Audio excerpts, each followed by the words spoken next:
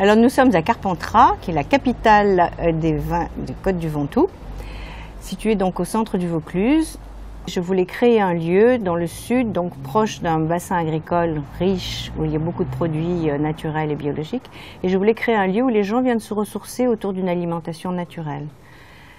Et donc c'est comme ça que j'ai atterri à Carpentras, euh, tombé sous le charme de cette ville en forme de cœur. il y a une architecture qui est assez exceptionnelle. Hein. Des maisons comme celle-ci, il n'y en a pas. il n'y en a pas 20 en Provence. Hein. Euh, donc, euh, après le lieu, ce que j'en ai fait, bon, c'est ce que j'aime, c'est-à-dire beaucoup de couleurs, des, des, fonds de grenier de grand-mère mélangés à du design, avec du Ikea. bon, voilà moi, j'ai toujours aimé la déco, donc ici, c'est vrai que j'ai toujours un projet.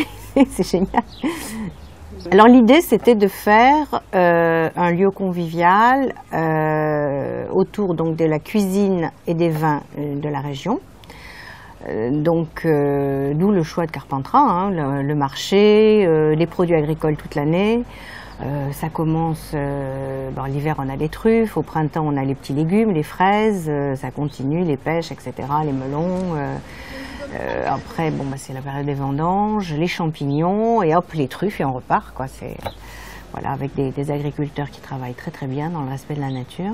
donc j'ai découvert après les vins du Ventoux qui, sont une appellation en devenir et euh, où les choses bougent très très vite et c'est très agréable de voir. Euh, moi, ça fait six ans que je suis ici. En six ans, le travail qui a été fait est considérable et c'est passionnant. Alors, l'idée, c'est les produits le plus proches possible de la nature et locaux. Alors au niveau des vins, je ne travaille qu'avec des vignerons qui sont euh, qui travaillent en, bio entre guillemets, hein, pas, mais qui ne mettent pas de pesticides, pas de levure. Euh, il y en a beaucoup qui sont en biodynamie. Donc c'est ce qu'on appelle des vins naturels, qui sont vraiment sur le fruit. Des formules euh, journée dans les vignes, ou demi-journée, ça dépend, avec la visite de deux domaines. Euh, bon, mais moi, quand j'amène les gens visiter un domaine, euh, c'est pas avec un quart de touriste. Euh, il y a un rendez-vous avec le vigneron. Ce sont des visites qui durent environ deux heures, quoi. Donc, et on rencontre le vigneron. Voilà, c'est pas la, pas le, truc de groupe. Si le client euh, est pressé, ne veut pas, ne veut pas payer, euh, euh, je donne un, itinéraire, je les j'envoie dans les caves coopératives où je sais qu'il va y avoir des jeunes filles charmantes qui vont leur faire goûter les vins parce qu'ils vont acheter une demi ils vont acheter une bouteille de vin et puis basta. Je m'adapte, je fais vraiment du, sur mesure.